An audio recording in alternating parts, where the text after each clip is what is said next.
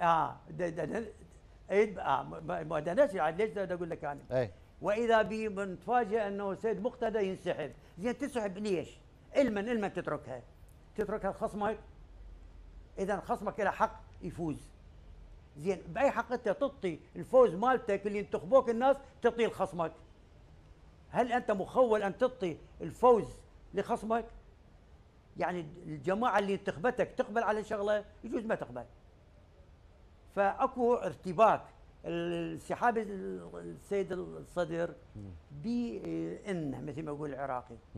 ال- السبب يريد يشعرهم التيار الصدري أنه هو القوة الوحيدة وما حد ينافسه. أنت تكون قوة وحيدة بس مو ما ما حد ينافسك. ما يصير. لازم لازم بالتنافس تبين قوة وحيدة. أنت قوة شعبية بالتأكيد, بالتأكيد. ولا لا توجد قوة تنافس التيار الصدري بالتأكيد. لكن مو يعني هذا أنه نجي حزب الدعوة نك- نكنسله. الحكيم نكنسله. الحزب الشيوعي المناضل نكسله. التيار القومي نكنسله. هذه التيارات والأحزاب العريقة كذا كلها نكنسلها إيه، زين.